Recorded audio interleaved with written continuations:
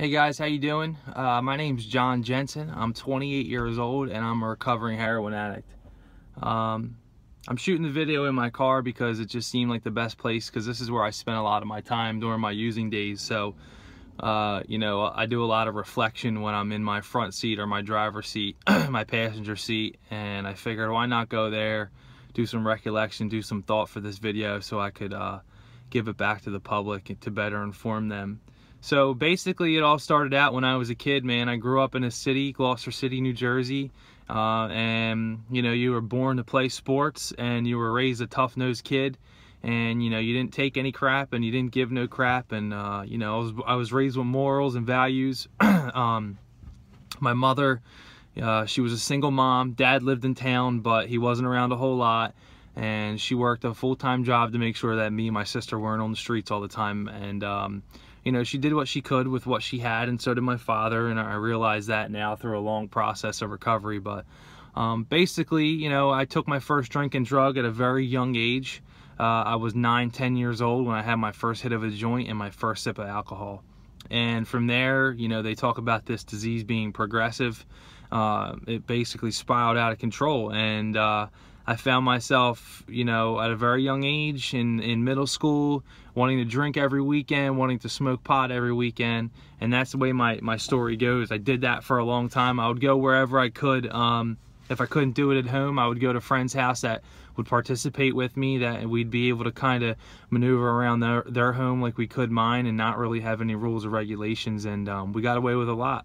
so I did that for a long time um, up until high school where we would just drink on the weekends and smoke pot and it was basically harmless.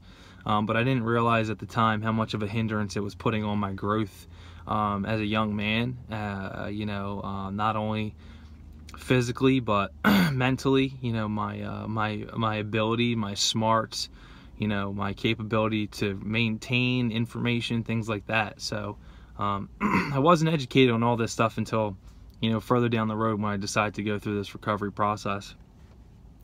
And uh, it, it spiraled out of control once I hit high school. It even got worse. You know, the hard drugs came into play like cocaine uh, and the prescription pills. And, you know, my story is not really different than anybody else's. It just goes down that line where it went from one thing to the next to the next to the next. And I never really questioned um, what I was doing, you know, who I was hurting, you know, I, it basically was like as long as I felt good and as long as I was having fun, that's all that really mattered. So, um, yeah, I did that. I kept on doing that, and uh, I didn't really get in any real trouble. I kept it very, you know, on the down low. Uh, I only used around certain people. Uh, I only, you know, used with certain people. Um, and I tried to keep it a secret because not only, you know, I had played sports as well, football, basketball, and baseball my, my whole life, basically since I was six years old up. And I needed to be able to perform, and I needed to be able to go and, and not, you know, have coaches and teachers and all them know what was going on at, on, you know, outside of the school zone. Um, because I kept it very together there. I kept, I made sure that, you know, anything that I did at school, um, I separated it from my outside life. But and that's why I was very very careful who I use with because most of the people that I used with had the same type of background as me. They were involved in the school. Uh, they played sports. They didn't want teachers to know. They didn't want families to know, so they had to keep it a secret. So I found myself using with like-minded people, um, and that's kind of how my how this story goes. If you really, if when I really look back, and I surrounded myself with people who were doing the same things that I was doing that whole time, and um, you know, it's something I try to do today in my recovery. I, I try to make sure that I surround myself with people that are doing the same things that I'm doing to make sure I stay stay focused on my recovery. So, um, fast forward a little bit, you know, I was uh, I was coming up to my senior year, and I had finally gotten my first serious bit of trouble. Me and my friends, you know, we had we had done some crimes, and we got caught, and um, you know, we I finally realized like that my life needed to change and a big hindrance on it were like drugs and alcohol. You know, this was the first time to me that there was proof that I really I really needed help, but I didn't know where to turn for help at the time. I didn't, you know, I never went through a DARE class growing up. I didn't have um I didn't have anybody teach me with what, what, what addiction was, you know, what recovery was, AA, NA. I really had no idea, and I really didn't have anybody um, that I knew in my immediate family that suffered from the disease really um, or so I thought. You know, looking back at it now, there's plenty of evidence of other people in my family that probably could have pointed me in the right direction or at least let me know what was going on. But at the time, I really just didn't understand.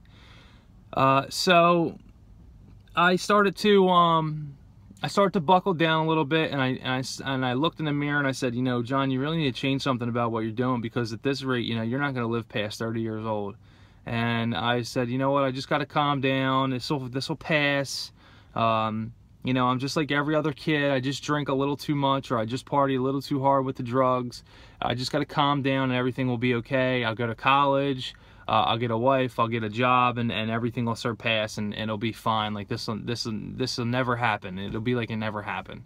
And that's kind of how I thought life was going to go. I said, all right, let's do this. And uh, I buckled down a little bit, and I started to get you know better grades, and I did well in sports that year. And going into my senior year, and things started to get a little bit better and better and better. And uh, you know, I realized like, you know, oh, I could do this on my own, or so I thought. You know, I started to think I got this a little bit, you know. Um, and I did like controlled drinking for a while. I made sure I only drank at certain times, and I didn't drink on, you know, Sundays, and I didn't drink during the week, and I only went to the parties with my friends, and I made sure I was safe, and I didn't do this drug or I didn't do that drug, you know. And it was controlled drinking and using for for about a year and a half, and um, I finally hit my senior summer and of course you know there's party after party after party after graduation and you know uh, as they say shit hit the fan and um, I went out of control my senior summer going into my freshman year of college.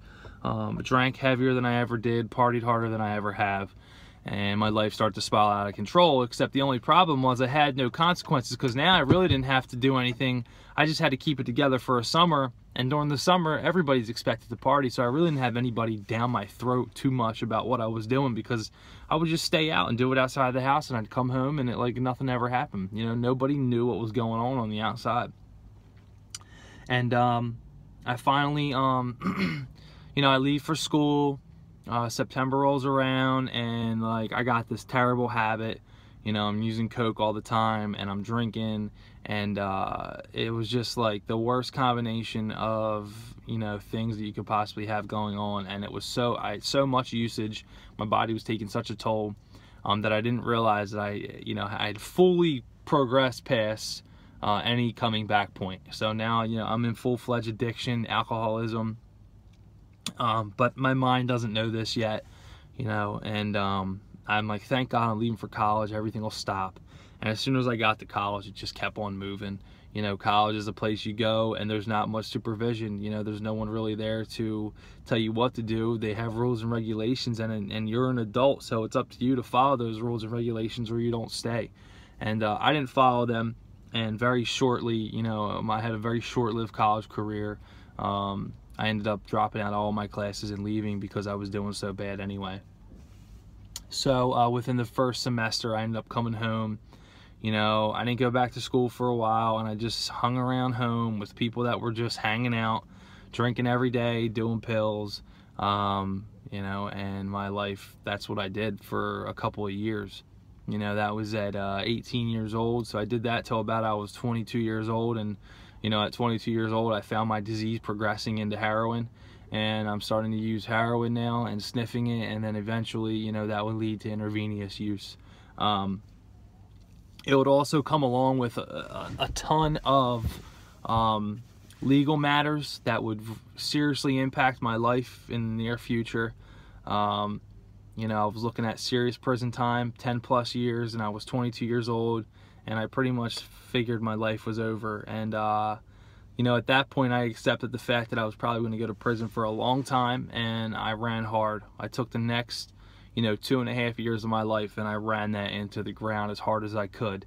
Um, I didn't see a turning back, you know, I didn't see a coming back point, and uh, I started to have my first experience with like rehab. I, I checked myself in my first rehab at 22. Um, I got like 14 days before I ended up having to leave for insurance purposes. Then uh, I go to another rehab, very, you know, about a month and a half after that one. Um, within the next six months, I was in like six rehabs between detox and rehabs and TC programs. Um, and some were long term, some were short term. And, you know, I just never could really understand like the obsession had never left me. You know, the obsession to use or drink had never left me, and it would leave for brief moments, but it would come back on me so strong, and I didn't know what to do with it. And um, somehow, you know, by the grace of God, some of my court stuff started to clear up, and it looked like I wasn't going to get in so much trouble. And uh, a friend had offered me the opportunity to go to Florida to go to treatment, and I said, you know what, let me take this chance. Let me take this time that I have. I'll, you know, notify the court to what's going on um, and I'll go away for treatment. I'll get some help. So I did. I went down there, and from day one, I was introduced to you know the program of Alcoholics Anonymous. Um, 12 step program is is 12 step program to me um, I'm not the kind of person that is going to crucify you for whatever program you choose, but for me, it's getting involved in a 12 step program and actually going through the 12 steps, getting a sponsor, getting a home group, getting involved, doing the footwork, and uh, get yourself better. And you know that's where that's where the true recovery lies. You know, I tell a lot of the families I do work in the field of recovery. I work in the in the addictions field, and and I tell all the families I say, listen, you know, what we do is a, is is a time for your loved one to just dry out really. Get education on on the disease of addiction. Learn about you know the different ways to cope with their stress and their anger and their anxiety and all this stuff that's going to hit them when they leave. But the real work in lies in the rooms when they leave here. And, and it's getting involved in a 12-step program and getting you know giving back to the to the community that gave so much to me you know? Um, I was given so much, you know, I was introduced to a man who became my sponsor, and that man really helped me out down the road. He taught me how to live life, and he taught me how to handle life as it comes, you know, life on life terms, as they say. And, uh, you know, each day I I would do some work on myself, and I would talk to him, and uh, I talked to him every day for a long time. You know, I'd call him no matter what. Even if I was having a good day, I'd call him to let him know I was having a good day. Um, and that's how my that's how I learned to recover, man. You know, slowly but surely, some of these things start to clear up in my life, and um, some of the problems that I had financially, you know, uh, spiritually, mentally, all that stuff started to go away, and I started to feel like a human being again, and I was no longer controlled by the obsession to use or drink. You know, and that was the biggest thing. You know, I could lay my head down, I could lay my head on a pillow at night, and I didn't have to think about did I want to use or drink because the thought wasn't there. The obsession to use was gone for me. And that had all come through the doing the work through a 12 step process, going through all 12 steps with a sponsor. Um, and then eventually, what I did was take someone else through those steps the way my sponsor took me through it. And today, I just try to do that stuff on a daily basis. You know, I have a daily reprieve that I go through to remind myself, you know, that I do have a problem and that the only, you know, I have a solution for that problem um, and I have to practice that every day of my life. So, you know, I try my best to be a good person on a daily basis and just continue to do the next right thing.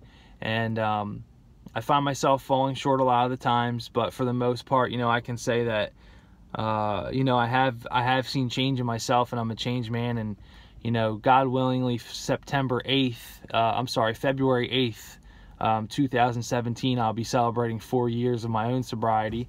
And, um, you know, I never really thought I'd be able to get to that point in my life. I really never thought that I could go through my whole life or my, you know, my 20s, you know, even just my 20s without a drink or a drug. And, uh, you know, it's being proven true to me and uh, so many others around me that I've seen get better through this process. You know, it truly is a miracle to be on this side of the fence today.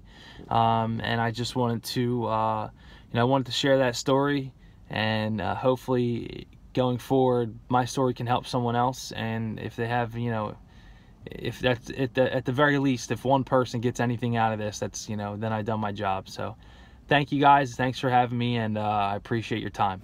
Bye.